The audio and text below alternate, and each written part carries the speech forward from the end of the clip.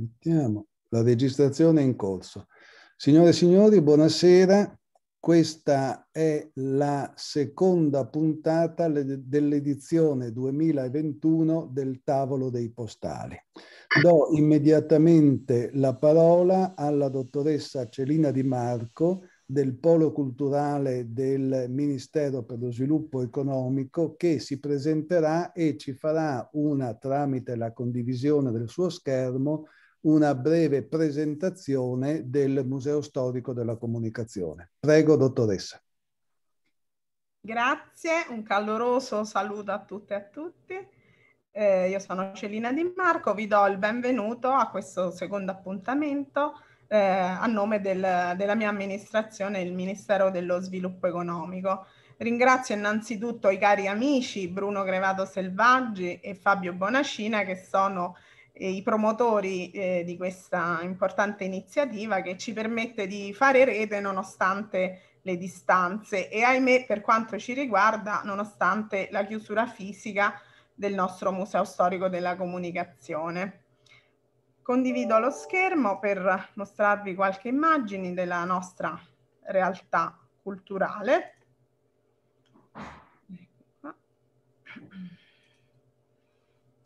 Vediamo un po'. Ecco, vedete a tutto schermo? Sì. Perfetto. Ecco, questa è la sede centrale del Ministero, si trova in via Veneto 33 a Roma, vicino Piazza Barberini.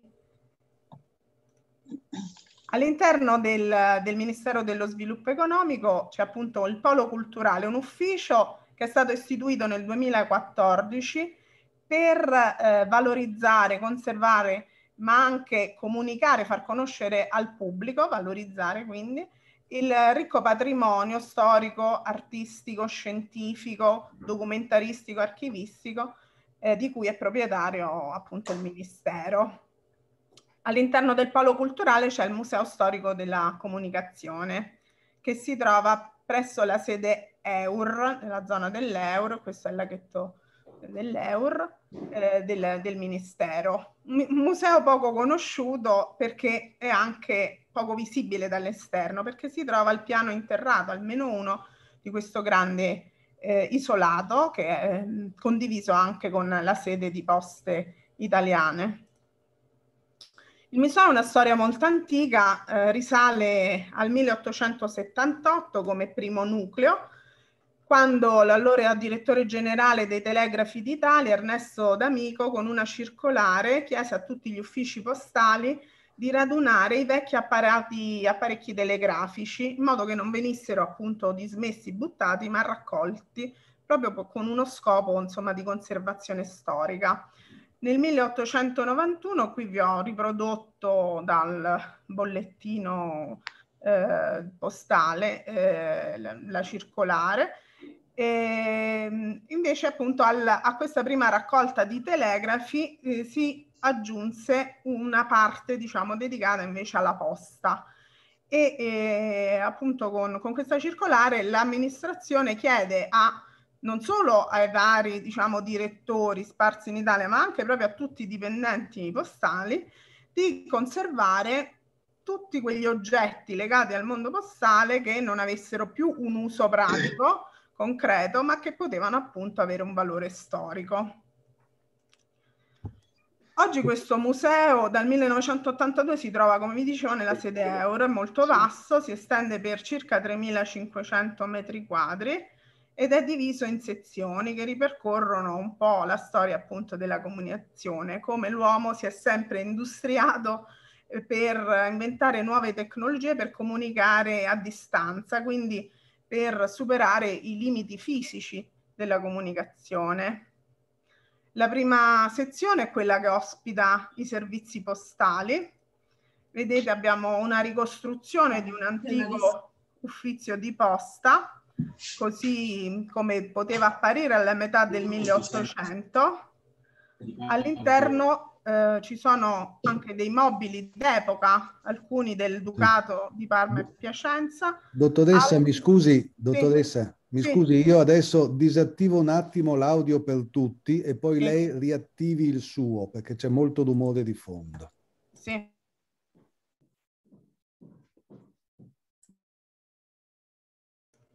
Mi sentite? Sì, la sentiamo, ah, vada pure. Ecco, con eh, appunto degli, de, degli arredi d'epoca, ehm, alcuni del Ducato di Parma Piacenza e Guastalla, altri del Granducato di, di Firenze. Abbiamo anche una ricostruzione di un fornetto di disinfezione postale, eh, come quelli ad esempio che ci vengono descritti in uso presso lo Stato Pontificio e eh, appunto che servivano per nettare, per disinfettare la corrispondenza durante i periodi di pandemia, purtroppo un tema adesso ritornato grandemente d'attualità. Abbiamo anche relativi eh, timbri, suggelli che venivano poi apposti sulla eh, corrispondenza disinfettata. Da eh, solo, scusate. E abbiamo poi una parte dedicata alla telegrafia, la telefonia, le radiocomunicazioni, qui vedete una, ehm, questo è un, radio, um, un radiotrasmettitore del Panfito Elettra di Guglielmo Marconi, poi donato ad Annunzio, che lo conservava poi presso la sua residenza sul lago di Garda, il Vittoriale. Una collezione intitolata L'estetica nella corrispondenza, sono quasi 300 oggetti appartenuti a una collezionista, Gianna Rosa Righetti Mazza, e sono tutti oggetti legati al mondo dello scrivere fra il XVIII e il XX secolo, tutti molto raffinati, oggetti anche mini, minu, piccole miniature, insomma molto eh, anche sfiziose. Abbiamo la parte filatelica che, come chi ci conosce da tempo sa, è molto ricca, abbiamo circa un milione di pezzi tra francobolli, bozzetti, prove di colore, e quindi insomma ecco questa è anche la sezione insieme a quella della marcofilia che si alimentano annualmente con i nuovi ingressi, in particolare per la filatelia da tutti i francobolli che ci provengono attraverso l'UPU dai vari paesi del mondo. Abbiamo nella collezione due penny black, il primo francobollo eh, della storia, del 1840. Tra i gioielli abbiamo i fogli dei primi francobolli del Regno di Sardegna nel 1851.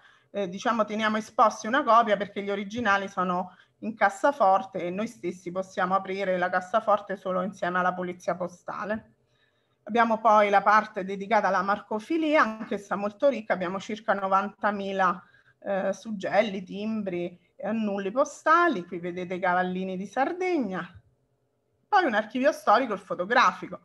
Qui vi ho messo due perle, ad esempio abbiamo eh, l'originale della canzone del Piave, scritta da Ermete Giovanni Gaeta, come pseudonimo d'arte aveva eh, Mario, che era un dipendente postale, scrisse il testo della canzone del Piave mentre era in servizio, come vedete, dalla modulistica.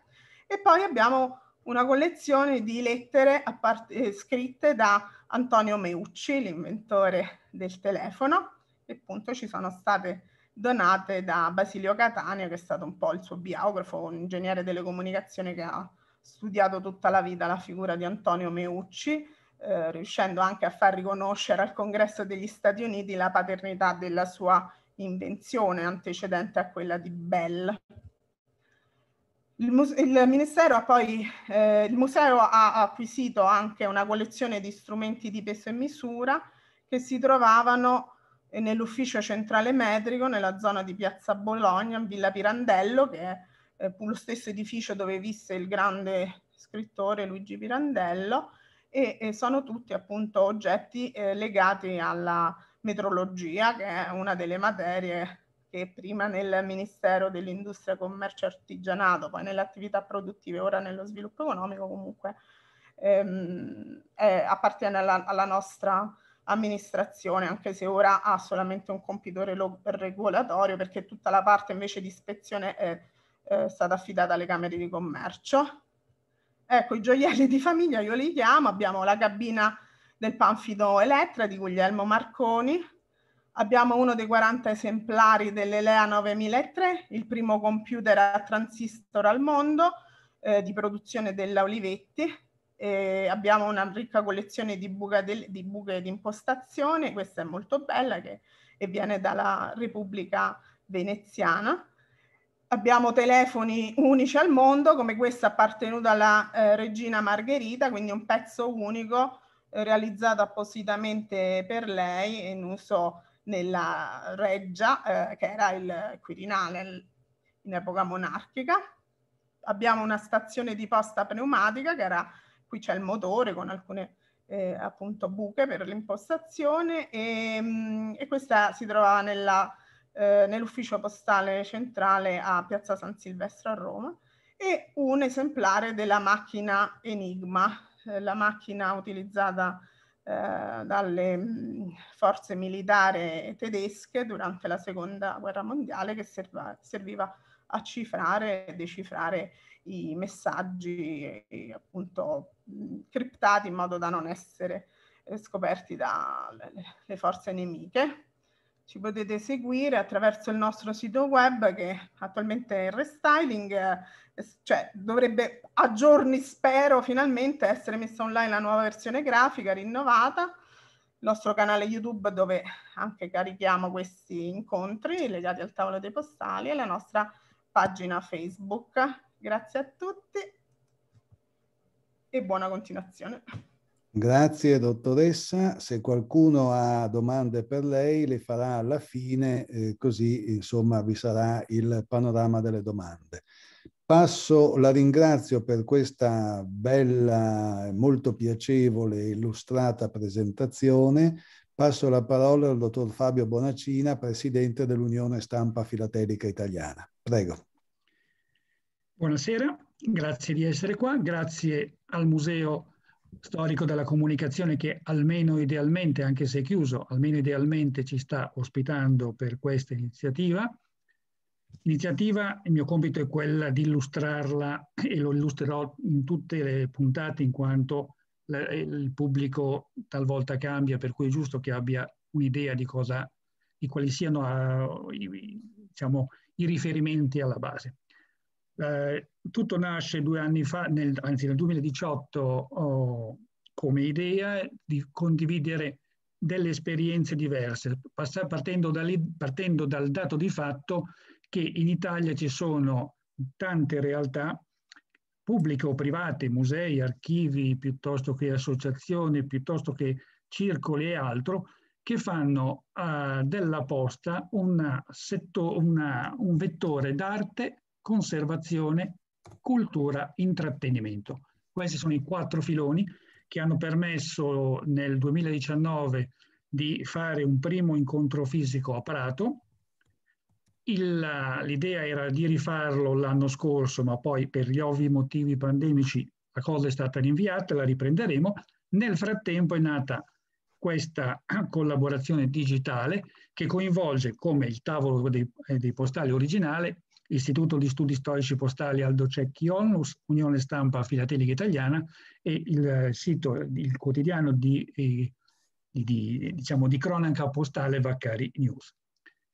Questa sera e sarà uno dei due interventi più, se vogliamo, filatelici dei sei che abbiamo preparato, in quanto la, la partenza è un'esperienza particolare, da qui il taglio che poi i relatori daranno ai loro interventi, il, la collaborazione pubblico e privato, nel senso che c'è stata nel 2015-2016, poi la presentazione conclusiva è stata fatta ai, nei primi giorni del 17, è stato concretizzato un progetto, appunto dicevo, di collaborazione pubblico-privato. In che modo? La, al Museo del Risorgimento di Milano c'è una collezione molto molto famosa che era rimasta nel leggendario, oramai perché non si poteva più vedere per vari motivi di sicurezza innanzitutto e per altri motivi, fra l'altro anche la delicatezza del materiale, e si favoleggiava su questa, su questa collezione. La possibilità che ci è stata data, grazie a dei finanziamenti eh, eh, che arrivano tutti dal mondo, dal mondo filatelico, e a questo punto le dico, oltre all'Unione Stampa Filatelica Italiana ha partecipato l'Associazione Filatelica Nazionale, cioè l'ex Borsa Filatelica, e l'Associazione Filatelisti Italiani Professionisti. Queste due eh, associazioni in realtà ora sono unite come Associazione Nazionale Professionisti Filatelici. In più ci sono stati Associazione Italiana di Storia Postale, Federazione fra le società filateliche italiane, Unione Filatelica Lombarda e la società Vaccari. Questo ha dato la possibilità di realizzare, di fotografare tutto il materiale, metterlo in ordine, grazie al perito Giacomo Bottacchi, pulirlo, metterlo in ordine, pur mantenendo il, la, linea di come è stato trovato il materiale, cioè non è stata fatta una collezione, non era quello l'obiettivo, ma era quello di rilevare quanto c'era, fotografarlo tutto e metterlo a disposizione del pubblico. Questo è stato fatto grazie a un sito che poi avremo occasione di vedere, eh, diciamo diretto, che fa capo al comune di Milano, dove tutto il materiale, tutti i 100 erotti, 103 mi pare, album, così come sono stati trovati, sono stati fotografati anche nei buchi, anche nelle pagine vuote, perché l'obiettivo era quello di mantenere di far vedere cosa c'è e per cui ognuno è libero di consultarlo quando e come vuole in qualsiasi parte del mondo senza chiedere nulla a nessuno perché è un sito internet, salvo poi, e qua rispondo in, in parte perlomeno a una domanda che è già stata fatta uh, da, una, da, una, da una persona del pubblico, fatto salvo che ovviamente le immagini sul sito sono a bassa definizione per tanti motivi si possono richiedere al comune, al, al museo, il, le immagini ad alta definizione a determinate condizioni. Fra l'altro in ogni pagina in basso del, del sito c'è scritto come fare e il modulo da compilare per fare la richiesta formale. Grazie per l'attenzione, io direi di aver finito e passo la parola a Bruno Gravato Selvaggi. Bene, grazie al Presidente dell'Unione Stampa Filatelica Italiana. Entriamo ora nel vivo di, di questa presentazione. La dottoressa Ilaria De Palma è il conservatore delle raccolte storiche del Comune di Milano e le passo la parola. Prego, dottoressa. Grazie, buonasera a tutti. Condivido lo schermo.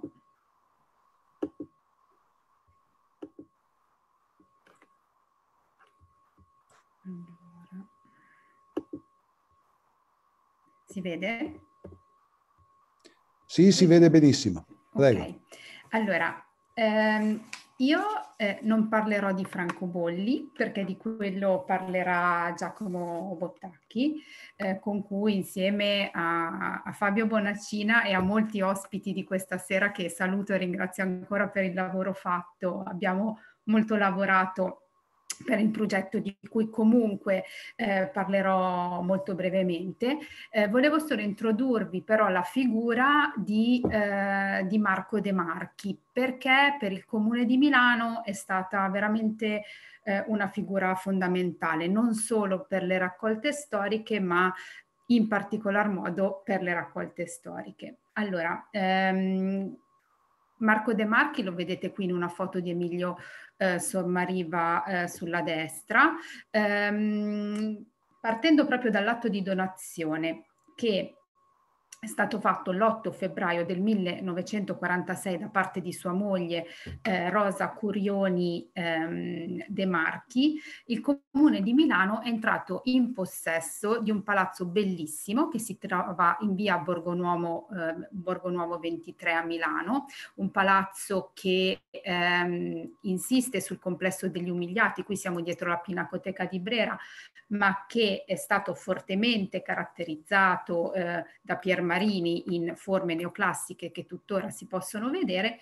ehm, ha subito moltissimi bombardamenti durante la seconda guerra mondiale, era residenza sì della famiglia De Marchi, ma già subito dopo la morte di Marco De Marchi eh, il 15 luglio 1936 la eh, vedova facendo proprio leva sull'interesse di De Marchi proprio sugli studi storici ehm, dedica il l'intero primo, il piano terra, dove adesso c'è il Museo del Risorgimento, a eh, il Museo del Regno Italico, quindi un museo che raccoglieva eh, testimonianze cimeli eh, dell'epoca napoleonica quasi come se fosse una sorta di anticipazione a quello che sarà dopo la guerra e dopo la ricostruzione, ricostruzione che viene fatta appunto con questa cifra messa a disposizione da eh, Rosa Curioni e che eh, ha previsto lo spostamento dal Castello Sforzesco a Palazzo Moriggia del Museo del Risorgimento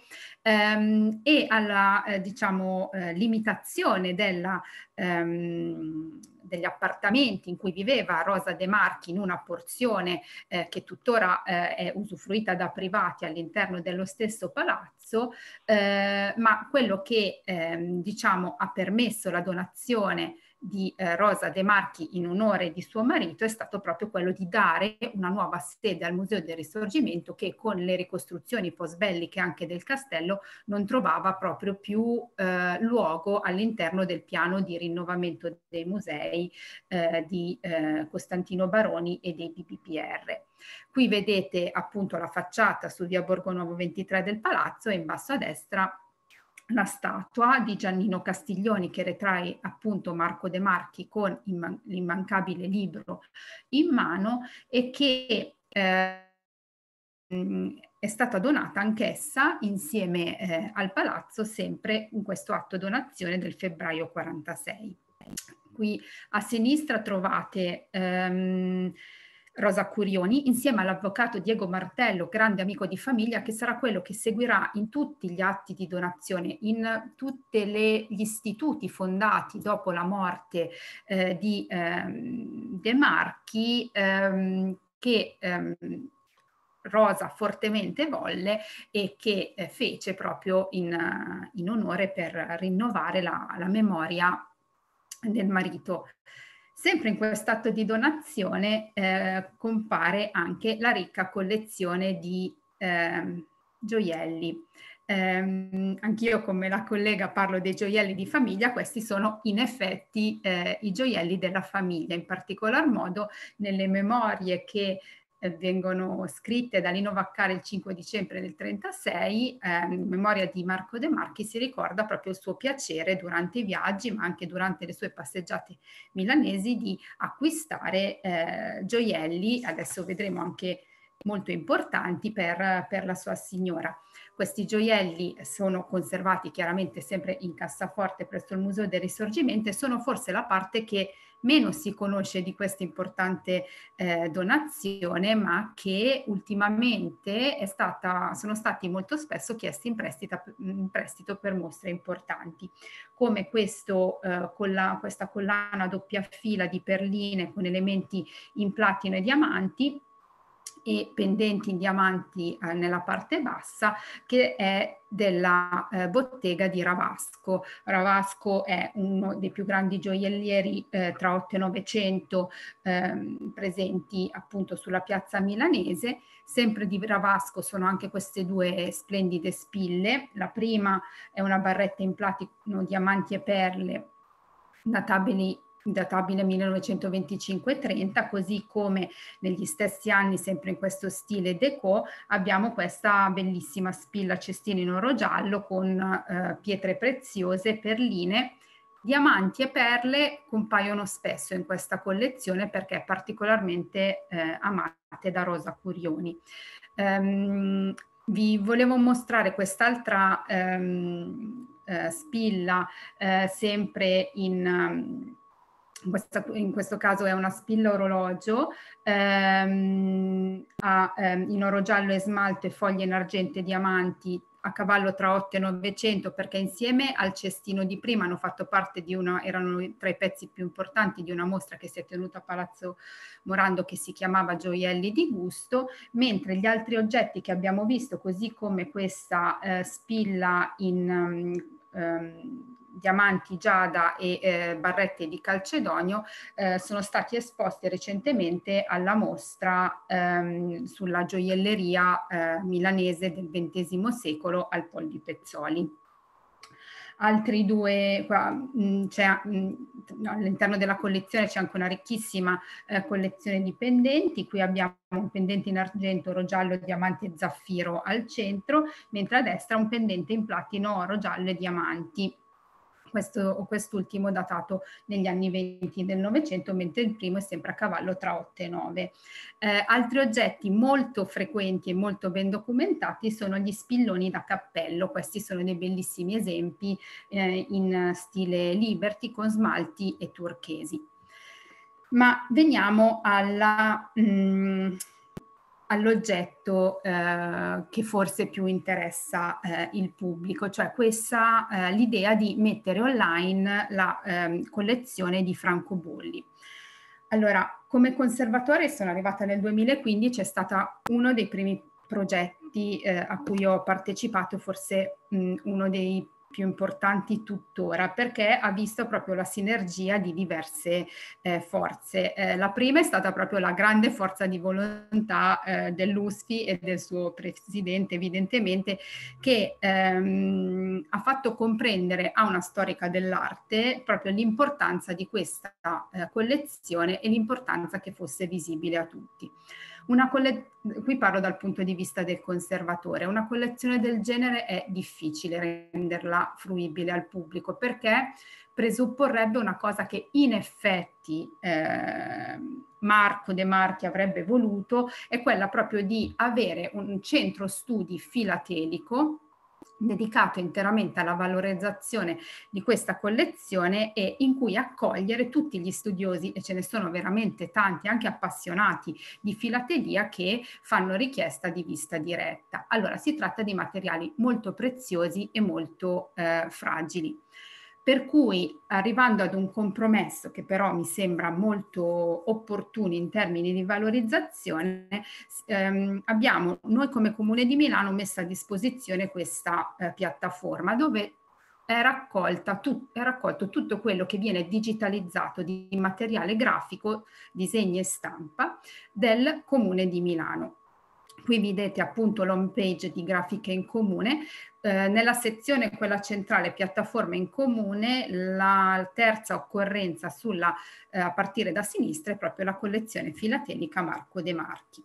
Quindi si presenta, molti di voi la conosceranno così, così come mh, sono arrivati a noi questi volumi, è possibile appunto sfogliarli con questa freccia e dopodiché questo vabbè ho mh, aperto ho fatto uno screenshot dal, dal fondo preziosi dove si possono vedere e sfogliare tutte le pagine e qualora si fosse interessati ad uno in particolare o a quelli che eh, il perito Bottacchi eh, ha ritenuto particolarmente eh, importanti sono stati ehm, ehm, sono state fatte delle macro fotografie che eh, tipo questa, dove eh, si può ingrandire fino a una buonissima definizione per vederlo come se fosse dal vivo però con una lente.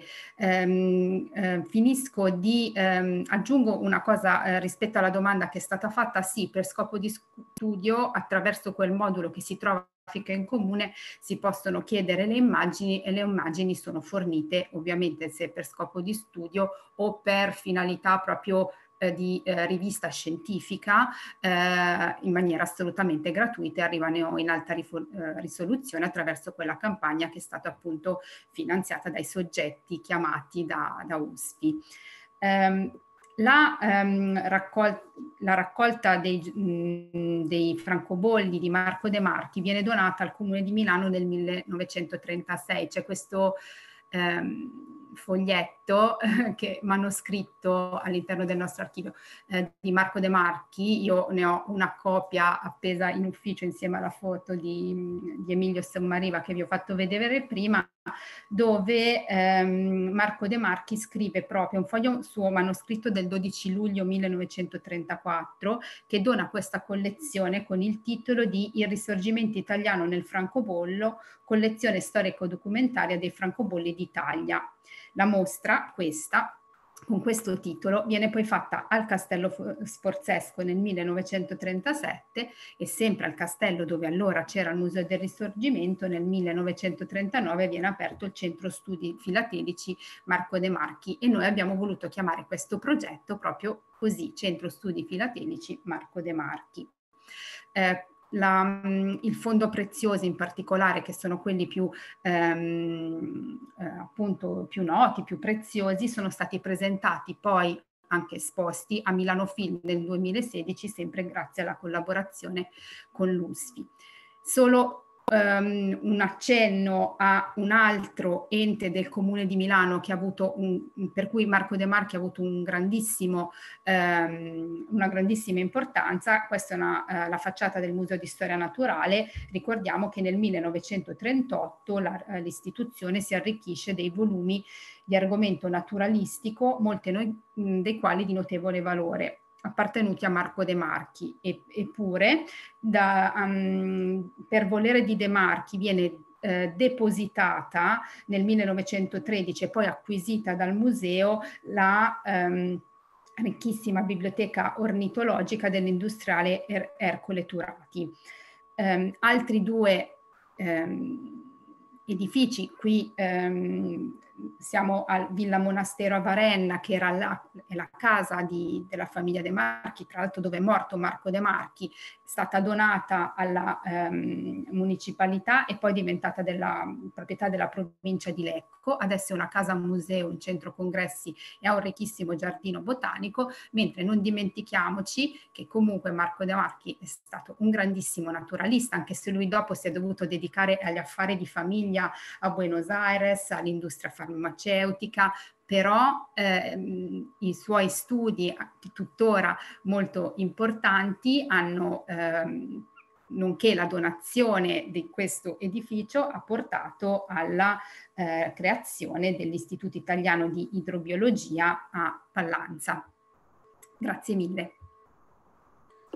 Bene, dottoressa, la ringrazio per questa esaustiva, anche affascinante presentazione di questo grande industriale, scienziato, filantropo, collezionista, Marco De Marchi, e per concludere la eh, presentazione di questa collezione, ora condividerò il mio schermo e vi farò vedere un filmato sulla collezione che dura un minuto e 48 secondi.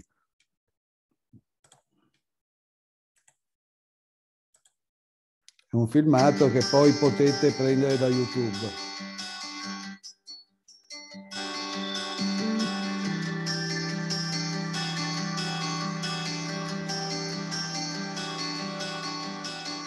Marco De Marchi è stato filatellista, d'accordo, ma è stato anche un industriale, è stato uno scienziato, è stato un benefattore.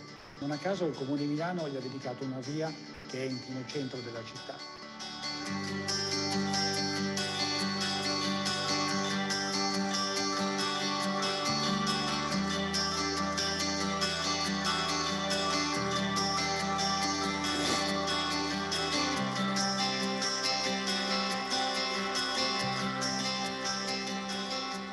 La volontà di rendere pubblico il patrimonio filatelico De Marchi nasce proprio da una parte un'esigenza di valorizzazione, dall'altra quella di tutela.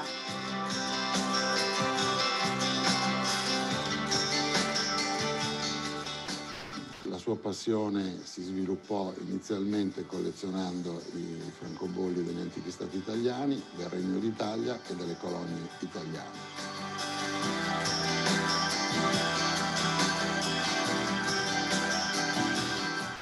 E certo che eh, pensare che quando lui ha iniziato a raccogliere eh, aveva tutto il, mondo, tutto il mondo filatelico a disposizione.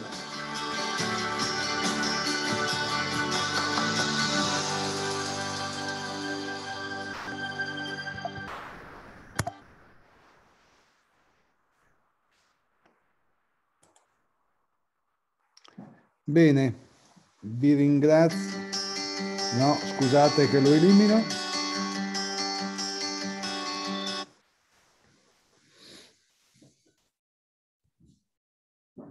Abbiamo interrotto la condivisione, avete gustato il filmato e ora cedo la parola al perito Giacomo Bottacchi che illustrerà dal punto di vista filatelico le gemme della collezione De Marchi. Prego, può condividere lo schermo. Eh, innanzitutto, eh, buongiorno e benvenuti, anzi buonasera e benvenuti a tutti. Eh, io ho avuto il piacere eh, per ben due volte di poter vedere questa raccolta nel corso degli anni, una prima volta con un, un noto professionista filatelico Agostino Zanetti e grazie anche eh, all'epoca all'interessamento di Danilo Goboni, eh, Bogoni, ex presidente dell'Unione Stampa Filatelica, eh, ho potuto ehm, classificare una prima volta semplicemente a livello eh, di censimento. E grazie invece alla nuova iniziativa si è finalmente potuto rendere pubblico eh, questo, questo lascito di grande importanza e della quale questa sera ho semplicemente estrapolato alcuni pezzi, niente di mh, magari di particolarmente ehm, così eh, tecnico, ma mh, mm, per, così, per mm, far vedere alcuni aspetti di quello che è la filatelia al di là della semplice raccolta di francobolli. Tenendo presente che Marco De Marchi è stato veramente un, una persona di, una, di un'apertura eh, e uno sguardo al futuro notevole, nel senso che collezionava non solo il francobollo ma anche il documento postale. E quindi ehm, diciamo che eh, possiamo eh, così partire da tutto quello che eh, era la sua passione principale. Lui da lombardo, in realtà lui era un, un lombardo ma era di origine svizzera, eh, in quanto il papà era appunto della, della zona del Luganese e eh, però si era trasferito ehm, in Argentina in quanto era un, un industriale del, del settore chimico. Eh, il nostro invece ha sempre avuto una grande passione per tutto ciò che era il, erano le cose di Lombardia. In particolare la sua passione era il, il regno lombardo-veneto. Eh, io ho fatto delle, eh, così, delle foto eh, e in questa presentazione si possono vedere, ammirare direi, i fogli come erano delle collezioni di una volta. Ehm, la cosa che colpisce innanzitutto, questa è una parte prefilatelica, che ha eh, sviluppato in particolar modo appunto per il Regno Lombardo-Veneto eh, la nitidezza e la leggibilità degli annulli. Eh, una volta si curava sì e no questo aspetto, mentre eh, il De Marchi era molto attento. Qui troviamo, vediamo ehm, eh, per esempio un'impronta particolarmente rara di Bormio, il negativo di Bormio, e, e si vede mh, che è ben leggibile, mentre eh, queste impronte sono mh, difficilmente decifrabili normalmente. Ehm, abbiamo poi, eh, oltre chiaramente, poi la, la parte principale della raccolta è quella relativa ai francobolli. Per quanto riguarda i francobolli, lui ha ehm, sin da allora dedicato sia spazio al francobollo nuovo, che diciamo che era il, forse il più collezionato al tempo, ma ha anche ehm, dato spazio alle lettere, alle affrancature, eh, che sono qualche cosa che una volta non si considerava molto. In realtà nella sua collezione appaiono delle cose di, di grande pregio, eh, e anche i francobolli singoli, come potete vedere in questa fotografia, eh, sono francobolli di grande qualità, con bordi di foglio, angoli di foglio, eh, tutte cose veramente mh, antisegnane come, come gusto. Eh, naturalmente era stato consigliato da, eh, avendo come Baccari aveva sottolineato nella sua presentazione, aveva il mondo filaterico a disposizione a quei tempi, quindi poteva scegliere delle cose molto importanti. In questo caso vediamo per esempio una, una lettera eh, che ha una francatura già di per sé particolarmente rara, mh, come combinazione dei due francobolli, e eh, con questo giallo limone che è un, un, una tonalità di colore estremamente rara in questi primi francobolli, che normalmente erano arancio, questo colore, come si vede anche dalle fotografie, è quasi un colore oliva. e sono cose mh, particolarmente, eh, diciamo così, conosciute dal, dai tecnici, ma magari non tanto dal, dal grande pubblico. Ehm, abbiamo poi eh, un'altra particolarità e direi che forse la caratteristica principale della collezione De Marchi, eh, lo, il grandissimo e profondo studio sugli annulli, eh, in particolare quelli di Lombardia, ma anche di tutti gli altri, eh, molti altri, non tutti, ma molti altri settori degli antichi stati eh, e anche del primo periodo del Regno d'Italia, che praticamente dimostra anche qui l'interesse eh, alla novità, perché i francobolli che colleziona, le vedremo più avanti, fanno parte anche dell'epoca proprio eh, in cui Marco De Marchi è vissuto. Quindi praticamente era un collezionista di novità dell'epoca che oggi hanno oramai cent'anni e più, ma all'epoca erano novità. Qui abbiamo eh, una cosa di grande eh, rarità, un, un, insieme di grande rarità, che sono questi timbri muti. Perché si chiamano muti? Semplicemente perché, come si può vedere, i primi, le prime tre, i primi tre esemplari, eh, voi potete vedere che hanno scritto sopra Mantova, Pavia e Chiavenna. E se non fosse stata fatta una classificazione, un censimento, quindi uno studio su questi, ehm, su questi tipi di timbri, eh, sono muti perché non, non, chiaramente non ti dicono eh, a che località appartengono. Eh, normalmente venivano, come si può mh, notare eh, nelle altre, nelle due lettere nella parte destra della pagina e nei due frammenti inferiormente, accompagnati dal timbro cosiddetto nominativo.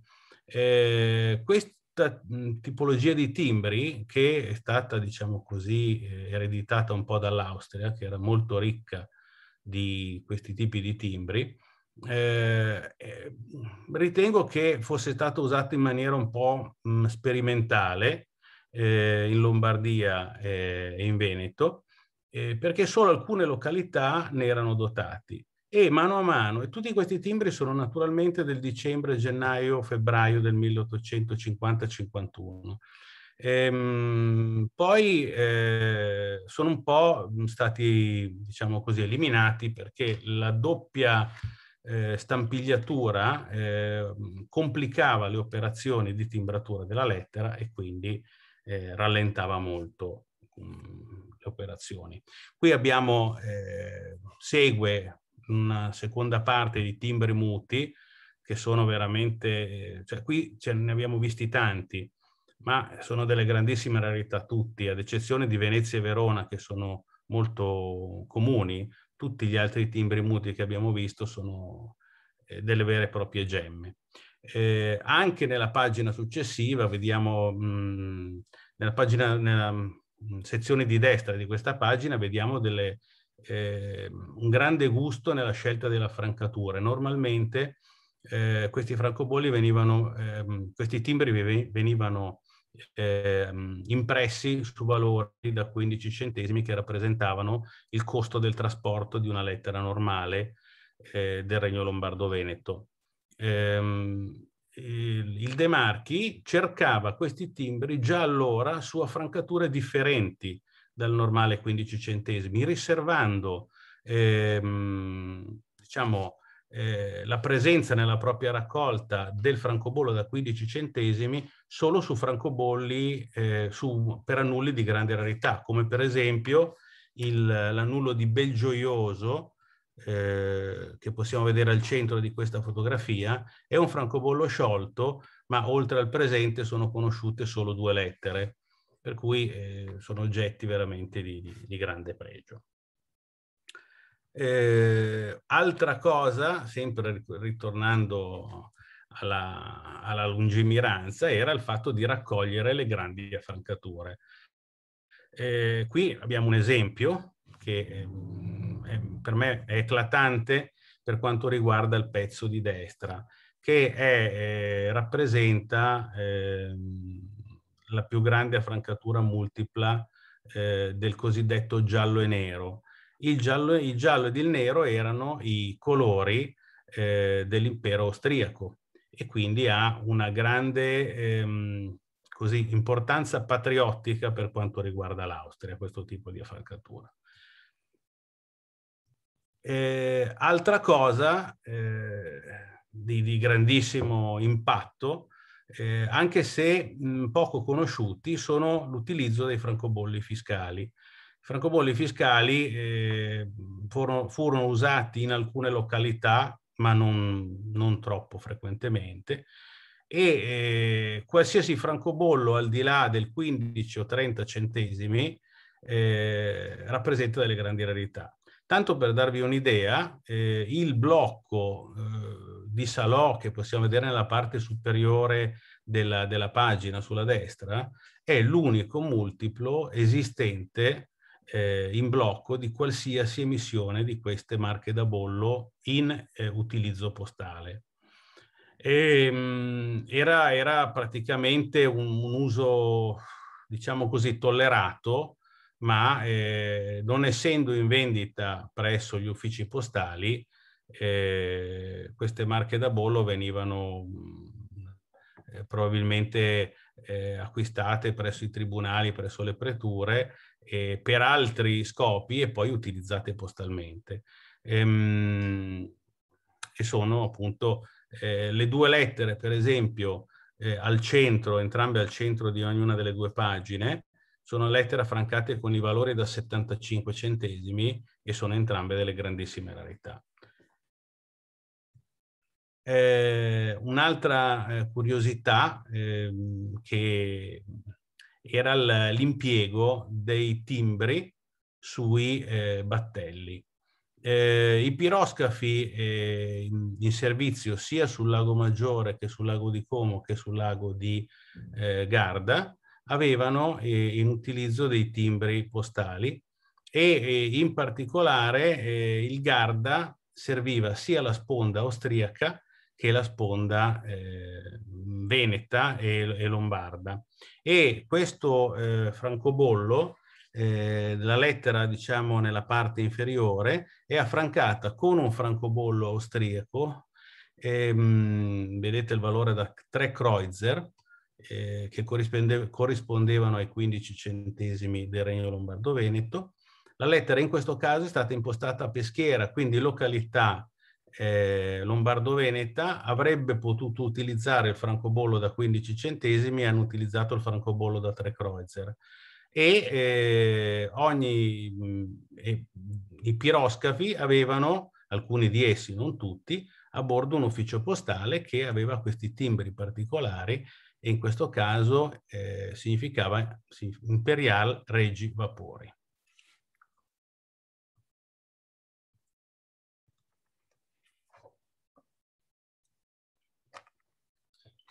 Un'altra, mh, un'altra diciamo, eh, caratteristica, vi, fa, vi, faccio vedere una, una, una curiosità, eh, perché nell'Ottocento eh, ehm, le signore, le, le dame, eh, spedivano mh, spesso e volentieri, utilizzavano della corrispondenza particolare, nel senso che la, mh, le buste mh, con cui inviavano i loro scritti erano buste decorate. Eh, sulla destra potete vedere rappresentata nella pagina di sinistra un particolare ingrandito di questa busta spedita da Pavia per Castiglione delle Stiviere a Mantova e la busta eh, è sormontata da altri due eh, frammenti come si vede nella parte di sinistra per cui non è, appare non completa pur essendolo e, e, De Marchi l'aveva eh, inclusa nella propria raccolta perché eh, gli interessava evidentemente l'annullamento di Pavia di tipo riquadrato su quel tipo di francobollo. Eh, è una, una, cosa abbastanza mh, inconsueta, le lettere eh, femminili ci sono di vari tipi, in questo caso è appunto con una rilievografia, eh, un decoro a rilievo della busta stessa, altrimenti esistono anche che sono bellissime, alcune decorate a mano e sono delle, dei piccoli capolavori e, e vedo che la dottoressa Di Marco eh, annuisce al Museo del Risorgimento nella ehm, collezione di Donna Mazza, eh, Gianna Righetti Mazza, eh, ci sono diverse di queste lettere che sono veramente meravigliose. Eh, qui è un'altra pagina e ehm, il Marco De Marchi non era solo collezionista di Lombardo-Veneto, ma eh, di riflesso amava anche i francobolli austriaci.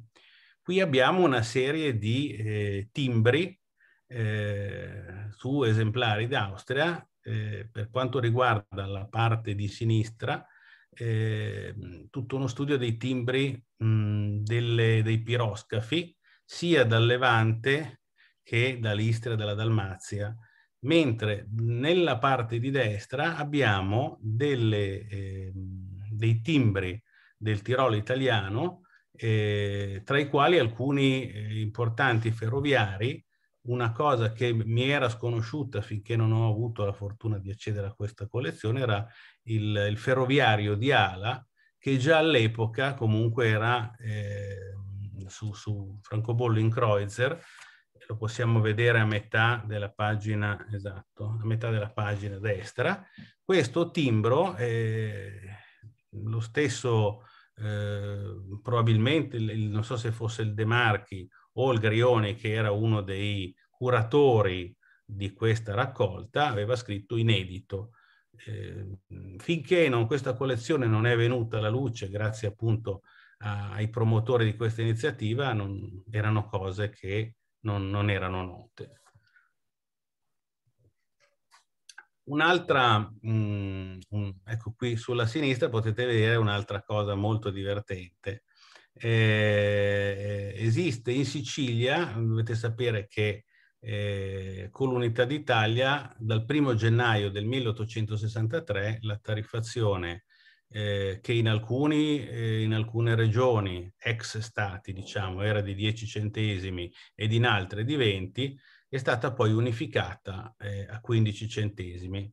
Eh, ma eh, sfortunatamente nei primi giorni eh, i tagli da, da, da 5 centesimi non erano disponibili e malgrado non fossero ammessi all'uso perché eh, potevano prestarsi a delle frodi, eh, esistono dei francobolli, dei rari casi di francobolli usati per frazione. Eh, Spaccafurno eh, è un, una, una, località dove eh, è noto più di un frazionamento. Eh, quello di, di, De Marchi è particolarmente bello, di grande qualità e, ed è uno delle, delle, dei gioielli che ci ha lasciato. E un'altra cosa anche molto bella è la, la, francatura, eh, diciamo, della parte inferiore, eh, che sarà eh, senz'altro ehm, apprezzata dagli specialisti che ehm, raccolgono assicurate con valore dichiarato, in questo caso Benevento eh, ha eh, una francatura che comprendente il raro valore francobollo da 80 centesimi dentellato, una francatura che si chiama tricolore in gergo, in quanto appunto ha tre francobolli di colori differenti e, e in questo caso è molto pregiata perché è una francatura unica come combinazione. Ehm, altra, eh, diciamo così, qui mm, torniamo al discorso che avevo fatto in precedenza per quanto riguarda l'attualità della collezione di Marco De Marchi.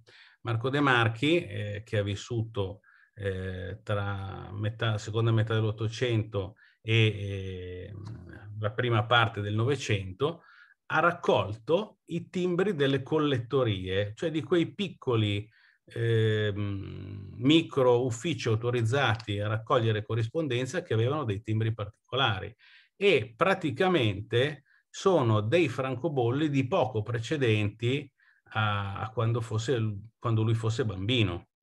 E qui ho fatto semplicemente un esempio con due pagine con vari tipi eh, di questi timbri, eh, dove spicca in particolare eh, la busta in alto a sinistra, questo annullo di Castiadas, che è, è veramente una, una, cosa di una rarità estrema, pur essendo su un francobollo eh, ordinario assolutamente comune, ma eh, dà una, una, valenza importante alla, alla valorizzazione di quell'oggetto.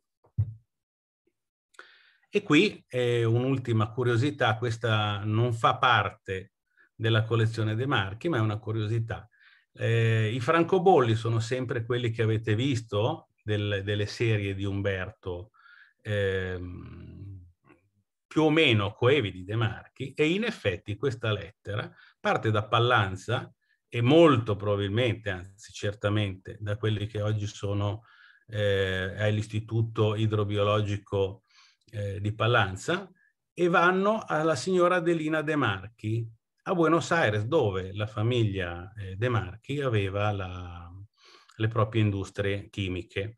La signora Adelina De Marchi, per la cronaca, è la sorella di Marco De Marchi. È una, una lettera che è saltata fuori per caso, ma ho ritenuto divertente farvela vedere come riferimento alla, alla vita di questa importante famiglia cui, eh, a cui noi tutti siamo altamente grati. Vi ringrazio, spero di non essermi dilungato e di non essere stato noioso. Grazie. Bene, molte grazie a Giacomo Bottacchi che ci ha illustrato alcune, solo alcune delle tantissime gemme filateliche della collezione Marco De Marchi e ora, dopo questa, abbiamo concluso la serie delle presentazioni e possiamo dare inizio alle domande. Ce ne sono già alcune in chat. Alla prima è stato già risposto, cioè come ottenere le scansioni in alta definizione. Vi leggo la seconda che è divisa in due parti, quindi faccio la prima domanda che è per la dottoressa De Palma e la domanda è, è in previsione qualche ulteriore attività divulgativa e di valorizzazione di questa collezione dopo la sua messa in internet e l'esposizione a Milano Phil? Allora, in questo momento eh, non c'è in programma nulla, ma nel senso che eh, non escludo ehm, di poter realizzare prima o poi una cosa che molto mi piacerebbe, cioè la, uno spazio all'interno del museo dedicato proprio alla, a sfogliare questi album, eh, magari in maniera virtuale, eh, sempre, assolutamente. L'unica cosa che in questo momento mi frena è che si tratta comunque sempre di dispositivi che hanno bisogno poi di una un'enorme eh, manutenzione, dispositivi che ad esempio in un caso come questo della pandemia poi avrebbe reso impossibile l'utilizzo perché eh, significava appunto, cioè abbiamo dovuto comunque eh, limitare tutto quello che poteva essere condiviso, toccato da più persone, quindi ehm, non escludo che prima o poi si possa ehm, fare qualcosa di più di quello che si sia fatto sulla collezione di francobolli eh, per una questione anche di, ehm, se volete, di, di, parità, mi piacerebbe anche dar conto della collezione di gioielli. Certo, bene, grazie. La seconda domanda era eh, qui mi sento di rispondere direttamente, lei mi conforterà se rispondo giusto. Eh, eh, sono in previsione ampliamenti e nuove acquisizioni per questa collezione? Credo che la risposta sia no, perché si tratta della collezione di Marco De Marchi. Però può darsi che voi abbiate in previsione acquisizioni di altro materiale di carattere postale filatelico. Prego. Sì, non si, allora, non si tratta di incrementare evidentemente la collezione Marco De Marchi. Qualora capitasse eh, la possibilità di incrementare la collezione di francobolli, perché no, assolutamente, però la collezione di Marco De Marchi rimane un nucleo, un fondo archivistico, poi alla fine un unicum e unico deve rimanere. Bene, grazie. Un'altra domanda è una richiesta per la dottoressa Di Marco che eh, un utente vorrebbe rivedere la slide della sua presentazione dove ci sono i tre telefoni. Quindi io le chiederei di condividere il suo schermo e di ripresentarci la presentazione con quei tre telefoni. Ricordo che comunque si potrà vedere poi su YouTube l'intera presentazione, però, eh, e quindi anche loro, ma nel frattempo possiamo rivedere. Quindi, ecco, ha iniziato la condivisione dello schermo. Allora, ehm, diciamo qui si vede quello della regina Margherita. Mm-hmm.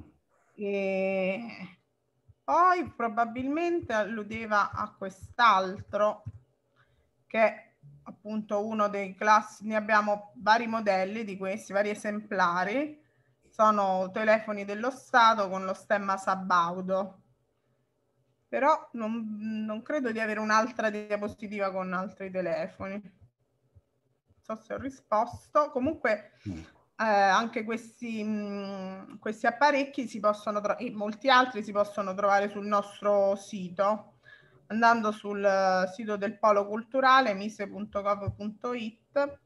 Comunque basta mettere su Google Polo Culturale del Mise.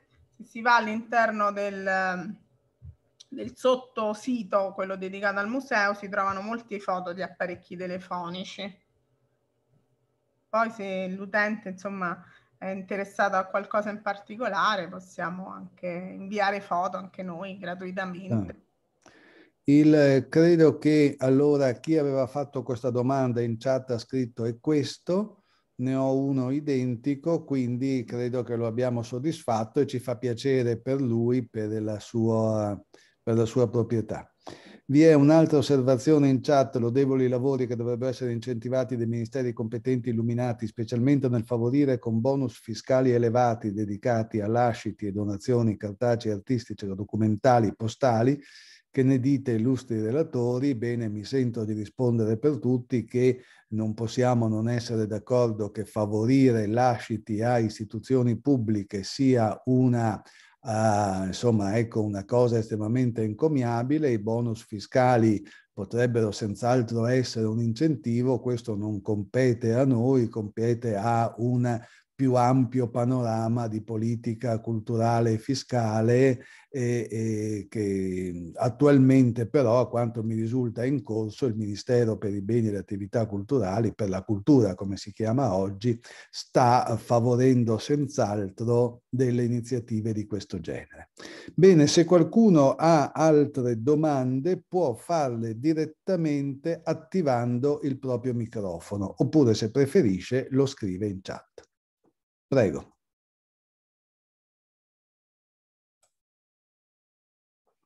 Se non vi sono domande, ne ho una io intanto per la dottoressa Di Marco. Il computer Elea, il primo computer a transistor della Olivetti, mm, quasi un portatile a vedere l'immagine. Di che anno è? Eh sì, allora diciamo che mm, nel 1954 iniziarono un po' gli studi, no? E, ehm, Adriano Olivetti aveva visto lungo, eh, capendo che l'elettronica sarebbe stato il futuro. Quindi aveva messo su questo laboratorio di ricerca con a capo Mario Chu, eh, un ingegnere italo-cinese, che poi era stato un cervello in fuga negli Stati Uniti e che lui aveva fatto tornare in Italia proprio per metterla per metterla a capo di, questa, di questo team di ricerca e sviluppo.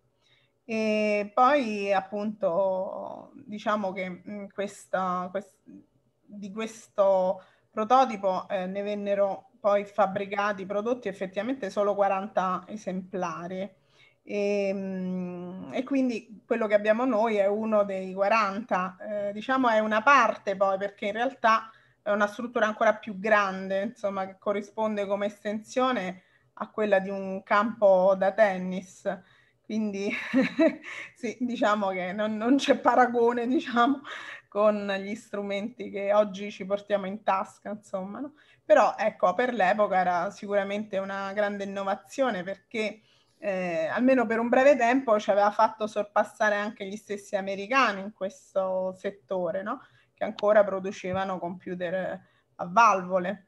Eh, certo. Purtroppo poi la morte improvvisa di Adriano Olivetti e subito dopo seguita da quella di Mario Ciu in un incidente stradale pose fine a questo grande sogno italiano di essere leader eh, nel settore del, dell'elettronica eh, perché purtroppo poi il nuovo consiglio d'amministrazione eh, giudicò eh, questo settore mh, diciamo non, non, strategico per l'impresa e non, non, vedevano effettivamente una possibilità di grande profitto futuro in questo settore e eh, riportarono l'Olivetti direttamente alla produzione meccanica, quella delle macchine da scrivere e quindi anche eh, diciamo brevetti, idee eccetera vennero poi vendute alla General Electric. Posso fare un intervento? Prego. Prego. Eh, per la dottoressa Di Marco, allora io sono eh, uno dei pochi programmatori dell'ELEA che ha lavorato sull'ELEA dell'Agip Mineraria nel 1961 e ho ancora la documentazione della macchina. Non so se possa interessare al museo questa documentazione. Sì, come no, certo. Noi sì, abbiamo alcuni manuali che insomma siamo riusciti un po' a, a recuperare anche da internet, però insomma se lei ha documentazione di prima mano, molto volentieri. Ho la documentazione ufficiale tanto del 6001 che del 9002. Quindi oh. a quel punto sono, ecco, sono disponibile, siccome io apprezzo molto quello che voi fate al Museo delle Comunicazioni e, e quindi senz'altro mi farebbe piacere appunto donarle questo materiale. Ottimo, grazie. con lei. Prego, grazie dottor, dottor Cametti, posso chiederle in che città lei abita? Io sono qui a Roma, ho lavorato all'Agip Minerario in quegli anni, ma sono di Roma. E allora io direi che Roma su Roma la cosa è fatta, noi ce ne rallegriamo in maniera particolare e invitiamo i due protagonisti di questa donazione a avvertirci quando avverrà per darne giusta notizia nei nostri canali postali informativi, insomma, e per mostrare anche come da queste sinergie possono nascere, insomma, queste, queste, belle, queste belle novità. No? Grazie. Certo, sì, sì, sì, no, ma anche perché appunto loro ex dipendenti Olivetti sono veramente i testimoni preziosi di quello che è stato, insomma, anche quel periodo, no? Certo. E, ad esempio anche eh, il Monte Paschi di Siena ha donato la, il suo modello di Elena 2003 a, ad una scuola, eh, la, un istituto tecnico, l'Enrico Fermi di Bibbiena in provincia d'Arezzo e sono stati proprio gli ormai pensionati ex dipendenti Olivetti anche um, a rimetterci le mani, insomma, e quindi anche in parte funzionante, la loro, la nostra no, la loro è in parte funzionante, grazie proprio al contributo di questi ex dipendenti. Benissimo. Altre domande? Io tornerei un secondo sulla De Marchi per dire che c'era, noi eh, comunemente la chiamiamo collezione De Marchi ed è la collezione eh, effettuata da Marco De Marchi e poi donata al comune. In realtà nello stesso gruppo, e anche questa fotografata è presente nel stesso sito, c'è anche una strana collezione che risale a una decina d'anni dopo, la, anzi sì, una decina d'anni dopo della sua morte. E quella è una mostra eh, fatta alla, all'Arengario di Milano, quindi in Piazza Duomo, intitolata Il francobollo e la guerra, fatta nel 1946.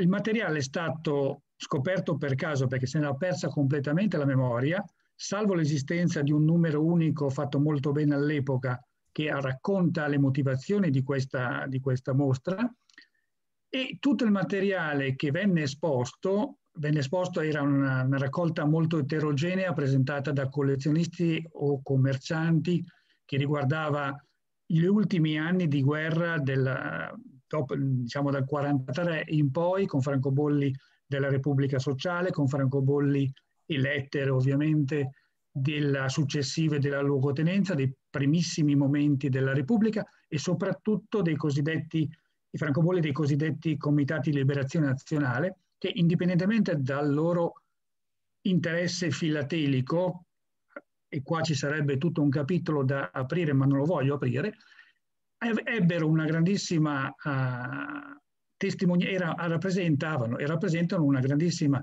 testimonianza storica.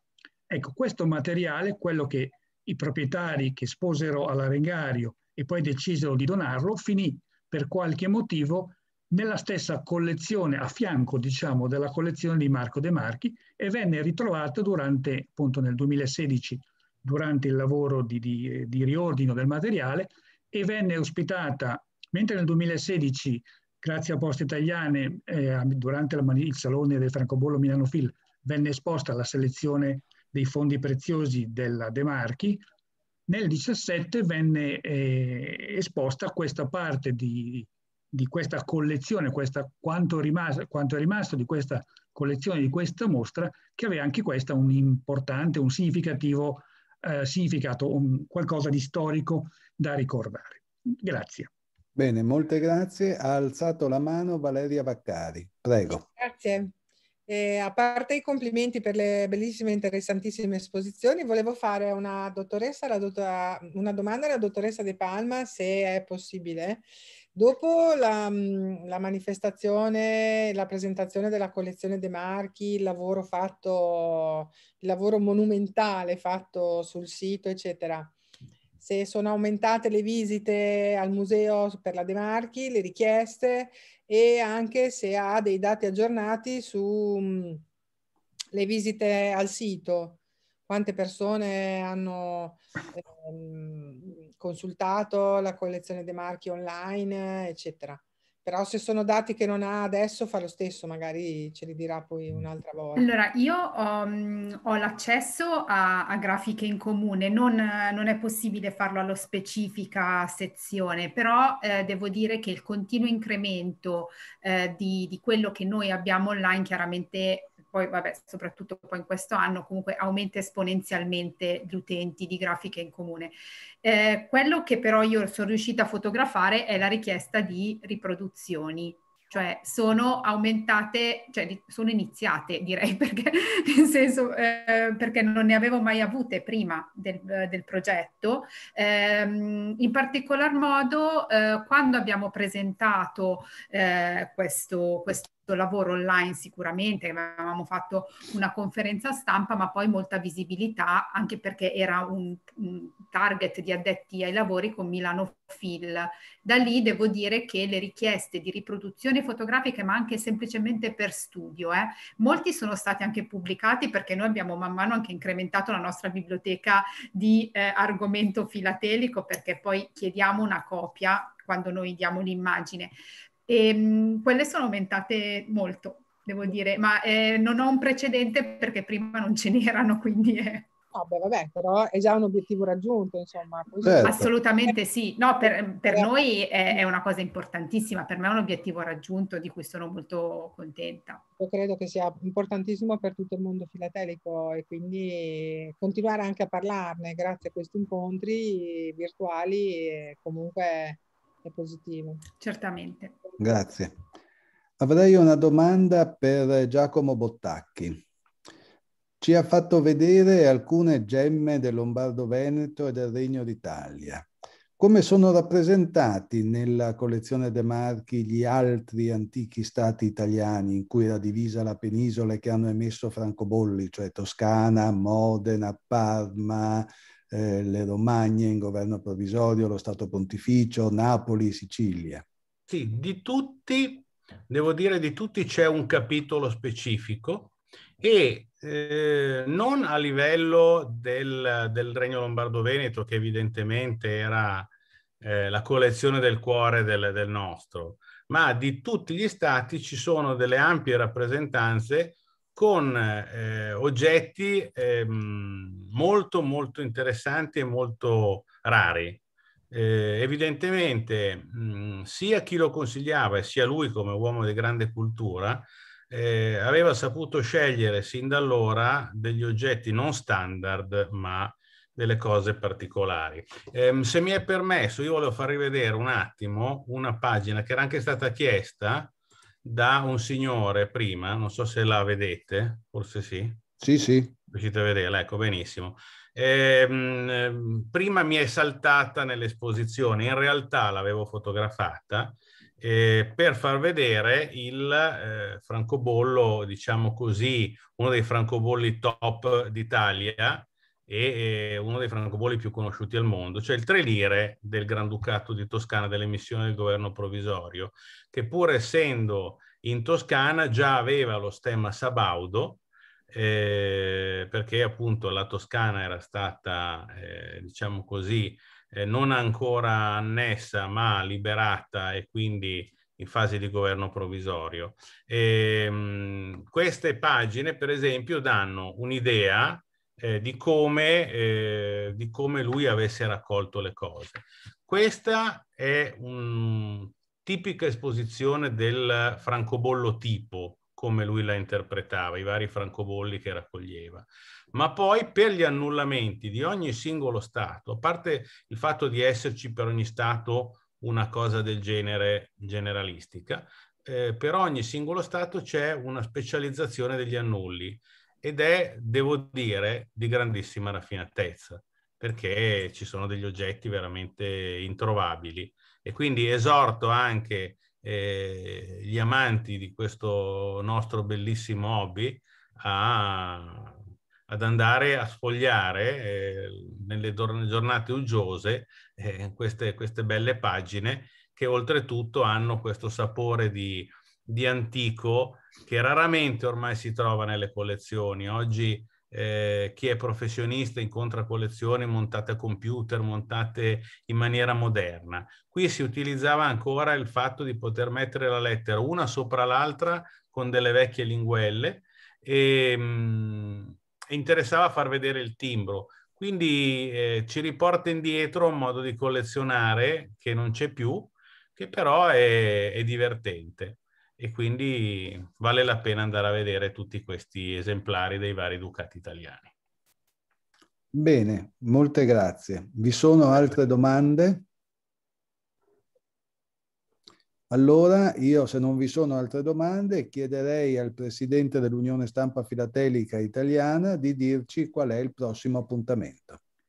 Prego. Bene, Bene eh, l'appuntamento è sempre tra il 18 e il 19 circa, per lunedì prossimo, il 26 aprile, dove cambieremo ancora una volta il, il settore.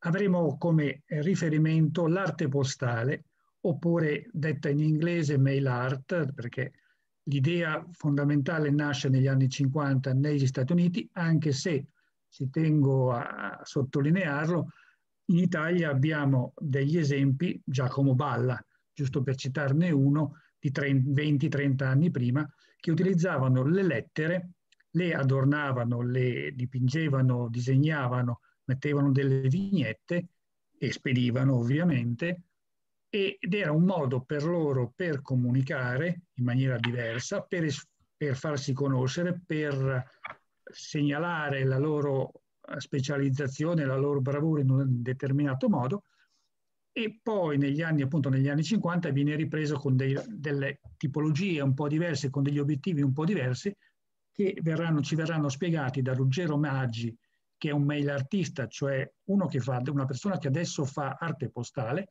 e da Sandro Bongiani, che ha una galleria virtuale italiana d'arte contemporanea, è un sito che ospita mostre e spesso e volentieri dedica questo, uh, questi spazi virtuali, ma fruibili senza nessun problema, proprio alla, all'arte postale. Quindi vi, vi, invito a ritornare su questa, su questa, su questa tavolo, su questo tavolo, in, davanti a questo tavolo virtuale, digitale, per lunedì prossimo. Grazie ancora dell'attenzione e buona serata.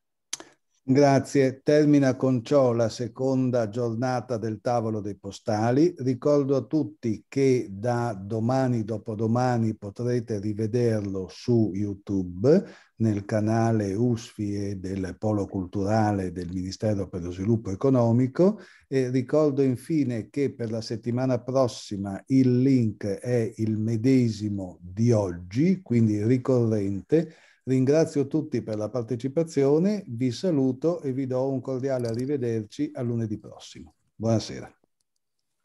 Grazie a tutti, buonasera. Grazie a tutti.